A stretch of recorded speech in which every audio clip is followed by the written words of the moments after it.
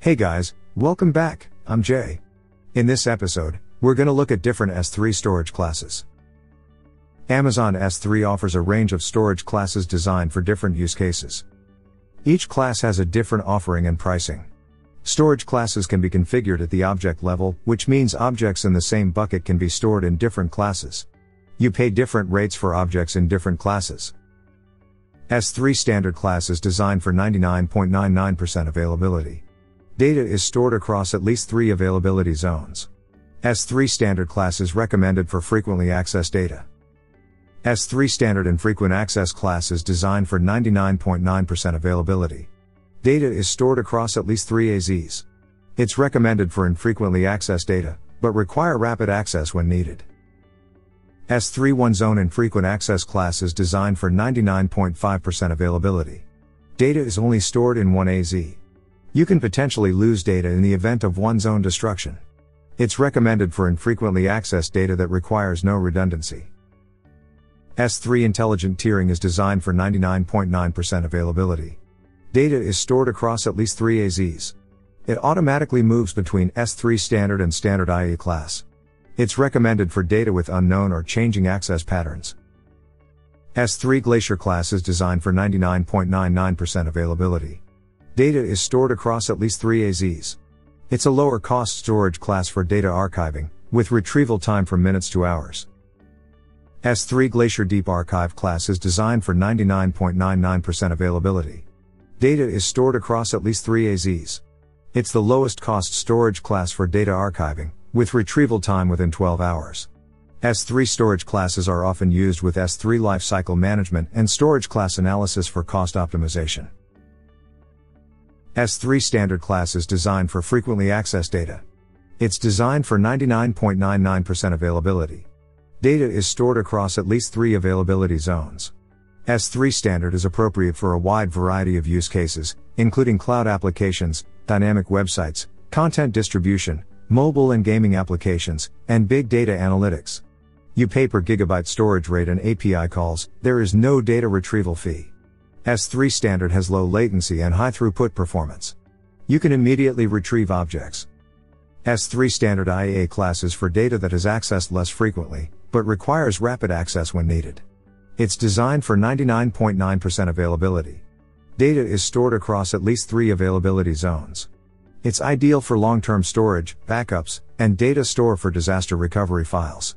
With S3 standard IA you pay a lower per gigabyte storage price than S3 standard. However, you need to pay for the data retrieval fee.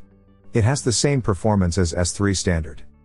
S3 one zone IA class is for non-critical data that is accessed less frequently, but requires rapid access when needed. It's designed for 99.5% availability. Data is stored in one availability zone only. It's ideal for storing secondary backup copies of data or easily recreatable data. For instance, it's commonly used with S3 cross-region replication to store a secondary backup. With one zone IA class, you pay a lower per gigabyte storage price than standard IA class, as well as the data retrieval fee. It has the same performance as S3 standard. S3 intelligent tiering is designed to optimize cost for data with unknown access patterns. It automatically moves objects between S3 standard class and S3 standard IA class, based on the usage pattern. It's designed for 99.9% availability. Data is stored across at least three AZs. S3 monitors access patterns of objects in S3 intelligent tiering, and moves objects that have not been accessed for 30 days to the infrequent access tier.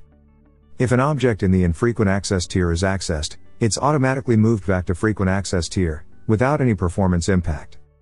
You pay the same rate as either S3 standard or S3 standard IA, and a small monthly monitoring fee, there is no retrieval fee. It has the same performance as S3 standard.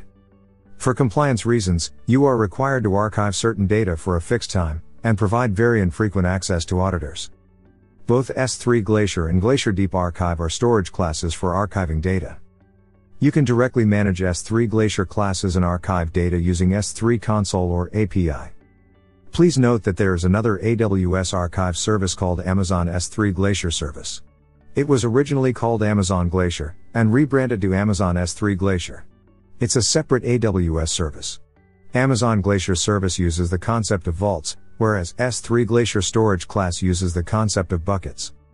Previously you had to use lifecycle management to move S3 objects to Amazon Glacier. In November 2018, Amazon introduced a new feature in S3, which allows you to directly archive objects inside S3 buckets. S3 Glacier class is for archive data with retrieval time ranging from minutes to hours. You can reliably store any amount of data, at costs that are competitive with, or cheaper than on premises solutions. S3 Glacier is ideal for archives where data is regularly retrieved, and some of the data may be needed in minutes. S3 Glacier Deep Archive class is for archive data with retrieval time from within 12 hours. It's the lowest cost storage class, which supports long term retention and digital preservation, for data that may be accessed once or twice in a year. It is designed for customers in highly regulated industries, such as the financial services, healthcare, and public sectors, that retain data for 7 to 10 years or longer, to meet regulatory compliance requirements. S3 Glacier Deep Archive can also be used for backup and disaster recovery. It's a cost effective and easy to manage alternative to magnetic tape systems. Both S3 Glacier and Glacier Deep Archive classes have 99.99% availability and store data across at least 3 AZs. You pay a much lower storage fee and a higher data retrieval fee. You might still see a legacy S3 storage class called Reduced Redundancy class on AWS console. However, it's not recommended, as it's less cost effective than S3 standard class. Here's the performance chart of S3 classes. All S3 classes can provide 11 nines durability. However, one zone IA only provides 11 nines durability in 1 AZ. S3 standard class, Glacier and Glacier Deep Archive are designed for 99.99% availability. AWS provides SLA and guarantees 99.9% availability. S3 Intelligent Tiering and Standard IA class are designed for 99.9% availability, with SLA of 99%. All S3 storage classes except one zone IA store data across at least three availability zones. For S3 standard class, the smallest object can be 0 bytes. You won't pay for minimum capacity per object. However, for intelligent tiering, standard IA, one zone IA, Glacier and Glacier Deep Archive classes, you need to pay for a minimum capacity charge per object. For instance, if you store an object smaller than 128 kilobytes in S3 standard IA class, you will be charged for 128 kilobytes of storage. S3 intelligent tiering charges a small tiering fee and has a minimum eligible object size of 128 kilobytes for auto tiering. Smaller objects may be stored, but always charged at the frequent access tier rates. S3 intelligent tiering, standard IA and one zone IA storage are charged for a minimum storage duration of 30 days. Glacier and Glacier Deep Archive are charged for a longer minimum duration. Objects deleted before the minimum duration incur a prorated charge, equal to the storage charge for the remaining days. You need to pay a data retrieval fee for S3 Standard IA, One Zone IA, Glacier and Glacier Deep Archive. S3 provides first byte latency of milliseconds for S3 Standard, Intelligent Tiering, Standard IA and One Zone IA. The retrieval time for Glacier and Glacier Deep Archive is from minutes to hours. When you choose a storage class, you need to consider the access patterns and cost effectiveness. Each storage class has a different storage rate and data retrieval rate. For instance, S3 standard class has the highest data storage rate, but charges no retrieval fee. S3 Glacier Deep Archive has the lowest data storage rate, but charges the highest data retrieval rate, and has longest retrieval time. Each region may have different storage and data retrieval rates. Let's look at the S3 storage pricing in the US East 1 region. S3 standard charges 2.3 cents per gigabyte per month for the first 50 terabytes, and cheaper rates for more data. S3 intelligent tiering charges either frequent access rates or infrequent access rates, based on the data access patterns, plus a monthly monitoring and automation fee. S3 standard IA charges 1.25 cents per gigabyte. S3 one zone IA charges 1 cent per gigabyte. Their cheaper storage options for data have less frequent access. S3 Glacier charges 0.4 cents per gigabyte. S3 Glacier Deep Archive charges the lowest storage rate of 0.099 per gigabyte. They're best suited for archiving cold data.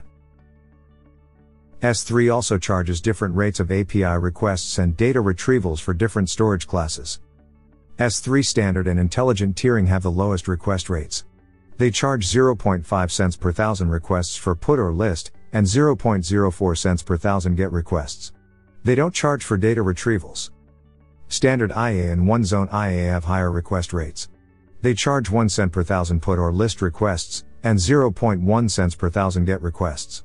They also charge 1 cent per gigabyte for data retrievals. S3 Glacier and Glacier Deep Archive have the highest request rates. They also charge different rates for standard retrievals and bulk retrievals. For S3 Glacier, optionally you can pay a higher rate for expedited data retrievals. In this episode, we've learned S3 storage classes and their use cases.